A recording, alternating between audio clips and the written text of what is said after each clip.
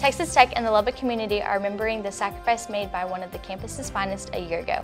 Coming up, we have a, a look at a special ceremony dedicated to Officer Floyd East Jr.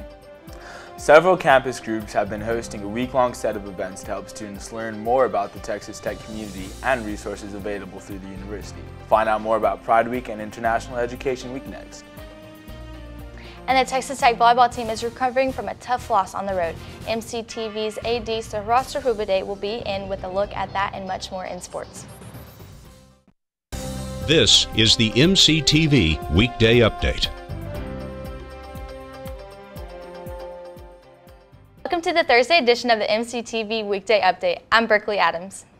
And I'm Holden Wright. This past Tuesday marked the one-year anniversary of one of the darkest days on Tech campus. That's right, Holden. On October 9, 2017, Officer Floyd East Jr. was killed in the line of duty at the Texas Tech Police Department. Members of the tech community, law enforcement, and more stopped by Memorial Circle this week to remember one of the university's finest. We look back one year ago on the tragic death of Officer East and we're reminded certainly of the fragility of human life. But we're also reminded of the way in which a community can come together to support the family of a fallen officer, to support our law enforcement agencies, and to support each other. Even in the worst of times, supporting each other is what Red Raiders do. On October 9th, 2017, Officer Floyd East Jr. rose to the occasion and answered the call for duty. He made the ultimate sacrifice for his community and campus. Officer East embodied our core values at Texas Tech Police Department, which we in law enforcement always try to maintain. Duty, integrity, honor, and service. Floyd was an example of this for his short career in law enforcement, all too short career. The one thing we can take, I think, from this, uh, that at least I have, is that a tragic event can bring us closer together. There was so much um, outpouring of support from the faculty, staff, and students and community after our loss. And I just want to thank everybody for helping us through a difficult year and, and getting us through this. To the men and women of the Texas Tech Police Department who serve and protect us, we thank you for your service and we recognize the sacrifice that you make to keep us safe each and every day. In times of chaos and crisis, many flee, but you all answer the call. Officer East and his family will live on in our memory he was one of us. He was a Red Raider. Thank you for being here today to honor his memory.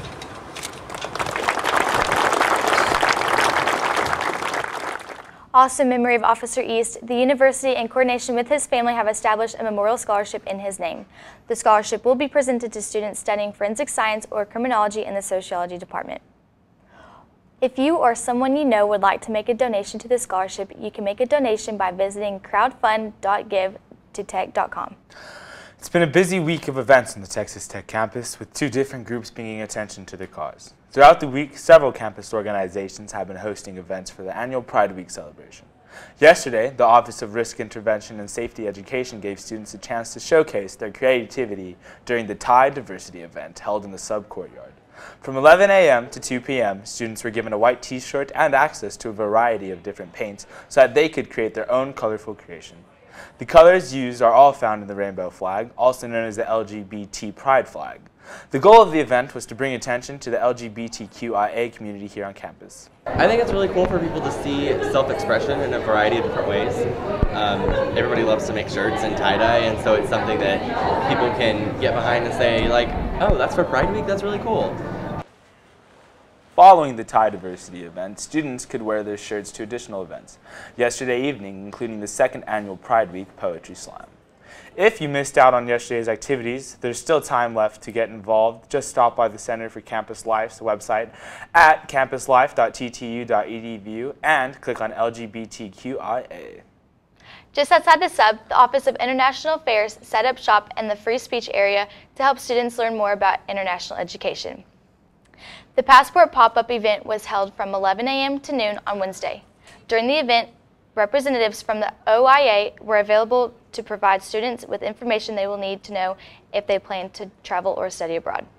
Passers-by also had the chance to grab a passport application and have questions answered about, document, about travel documents. We're trying to promote the passport office because um, a lot of people don't know we are even there. And is just, you know, a service that we that Texas Tech offers to students and the public. Along with staff from the Passport Office, a global security specialist was also on hand to offer travel tips and answer questions about international travel. The Passport pop-up was part of the OIA's International Education Week festivities. For more information on studying or traveling abroad, just visit the Office of International Affairs website at international.ttu.edu. The Texas Tech campus has officially become home of dozens of aspiring filmmakers during a two-week event. On Tuesday, the Campus Movie Fest officially launched on campus in the East Student Lounge in the Media and Communications Building. Students lined the hallway outside of the lounge to pick up video and audio equipment that they could use to create their own movie masterpiece. During the launch, students were also given a basic walkthrough of all the equipment, along with forms to fill out to submit their final entries. There was also some swag on hand for participants in the film competition. Students who are creating a film for Campus Movie Fest have between now and next Monday to shoot and edit their movie. Then, next Wednesday, the Campus Movie Fest officially comes to a close with the premiere event. During the premiere, the top 16 films will be screened, followed by an award presentation recognizing the winning entries. The premiere event will kick off next Wednesday at 6.30 p.m. in the sub. At 7 p.m., the doors to the Red Raider Ballroom will open and the show starts at 7.30 p.m. For more info on the Campus Movie Fest, visit campusmoviefest.com. It's been an interesting week of weather here on the South Plains. The week started off very wet, with showers on Monday and Tuesday. And yesterday, we saw one of the coldest mornings of the season so far. That's right, Holden. But the biggest surprises may be headed our way this weekend. Let's take a look at the MCTV forecast. The MCTV tower cam has been showing cloudy skies all day. Those clouds are part of a cold front that moves into the area overnight, and so far it's kept temperatures around 50 degrees all day. If we're lucky, we might reach the 60 degree mark before sunset, but otherwise we shouldn't see much of a chance throughout the rest of the night. Tomorrow morning, we'll see more of the same as cloudy skies and cool temperatures stick around the area. But late tomorrow afternoon, the clouds will move out for a little while and temperatures will climb back into the mid 70s. But after that, it's time to pull out your sweatshirts and winter coats as some huge cha changes head our way. Starting early Saturday morning, we'll see a storm system enter the area that will stick around until next week. Along with the chance of rain, temperatures will also drop significantly with highs only expected to reach the upper 50s. On Sunday, we'll start to see the biggest changes in the forecast as another cold front moves through the area. We'll start to see breezy winds and an increase in rain chances on Sunday afternoon, followed by a drop in temperatures around sunset. Overnight on Sunday, the Lubbock area will see a, the first freeze of the season with lows expected to drop near 30 degrees. On Monday morning, near freezing temperatures and a chance of rain will make a very cold commute to morning classes. There's even a slight chance of snow flurries before noon. Right now, temperatures are on Monday are expected to stay in the low to mid 40s with cloudy skies throughout the day. On Monday night, temperatures again will drop off and we could see another freeze early Tuesday morning. Cooler temperatures will stick around the area again on Tuesday, but luckily we'll see a return of sunshine throughout the day. Tuesday night, should also be slightly warmer, with lows expected to stay around 40 degrees. On Wednesday, fall weather should officially set in for good with another day of high in this, highs in the 50s and partly cloudy skies. Looking ahead, we could see another chance of rain before the end of the next week, along with a slight rebound of temperatures by the weekend. After a surprising start to the season, the women's volleyball team faced a tough loss to TCU last week. So could the Red Raiders get back on track on the road in Norman? MCTV's AD Sahasrabudhe has a look at the game in More in Sports. AD? Thanks Berkeley and Holden. Having gone through a relatively quiet weekend, Tech fans were crestfallen with the women's volleyball team's loss against Oklahoma on Wednesday. The Red Raiders started off well with a convincing first set lead, only to succumb to the brilliant team effort by Oklahoma. Oklahoma did not give up after dropping set 1 and would go on to finish the game 3-1. Sooner senior Alyssa Enneking finished with 21 kills on .463 hitting and added 13 digs to help Oklahoma to its 16th straight win over Tech in Norman. Junior Emily Hill led Tech with 13 kills and 12 digs for her 7th double-double of the year and 26th of her career. She was joined in double figure by senior Katie Keenan and freshman Brooke Canas. Unfortunately, in a desperate attempt to register their first win in Norman since 2002, the Red Raiders were unable to break the jinx. Tech will look to regroup Saturday when it returns home to face Kansas at 1 p.m. on Pink Day. And for Red Raider football fans, the wait is over.